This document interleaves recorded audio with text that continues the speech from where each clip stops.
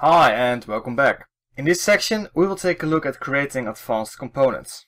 So there are a couple of things we will learn in this section. First, we will learn how to pass properties to a component. Next, we will learn how to handle data outside a Vue component.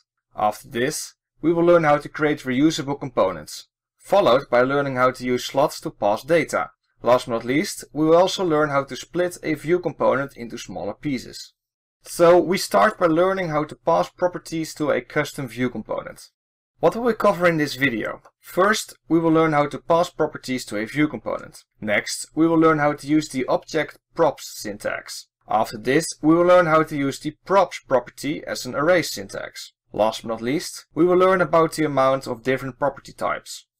So, I've created a Bootstrap application and it's not really very interesting. The important stuff is happening behind the scenes. When we type in the text field, we will send a variable as a property to our custom component.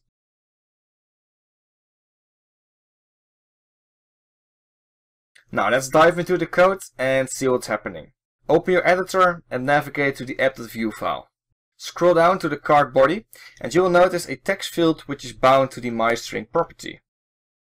Below the form, we are showing the myComponent custom component, and this time we are sending this component some information called properties. Now let's scroll down to the components property at the Vue instance, right here, and you will notice a new property at the myComponent component called props. Here you can specify what data the component can receive. So you will notice that my boolean is a boolean and is required. My array is an array, isn't required, and has a default value, which is an array with the default option. My string is a string and is also required. My number is a number and is not required. My object is an object, is not required, and has a default value. Notice that you can also specify a method that will simply return a value. In this instance, we are returning an object with my property set to true. Now let's play with the properties a bit. Scroll to where we reference the myComponent component and let's take a look at the myBoolean prop. As you can see, we only specify the name and not the value. When you do this, this will always result to true. You can set it to false by using so add a colon to the myBoolean property and specify false as a value. Let's see, and now it's false, set it to true, and we're back to true. Alright. The my array, my number, and my object speak for themselves. However, the my string is bound to the my string variable, which is bound to the text field. When we type in the text field, notice that the prop is updated as well. As you can see right here. But what happens when we do something wrong? Let's change the number 3 to the text, like so. As you can see, my number is now set to 3. And let's inspect.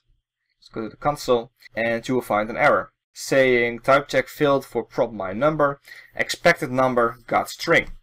And what will happen when we remove the my boolean property, which is required, which is specified right here. Let's do this. Let's remove this. Oh, and by the way, let's take this back to 3. Save it. And you will get another error saying missing required my boolean. It's pretty cool, right? Vue shows information when something is going wrong with the properties. And another thing to keep in mind is the use for colons. Let's for instance remove the colon from my number and see what will happen. G my boolean. Proper quick. Save it and we get the same error as before. Invalid prop, type check failed for prop my number, expected number got string. When you want to send a literal string to a property, you don't need to add the colon, but if you want to set primitives like a boolean, number, object, array, or if you want to send a variable, you need to add a colon. So instead of sending the integer 3, we are sending the string 3. And we can show this by sending the string, here we go. So this is working because we want a string, which is correct. Also can send a 3.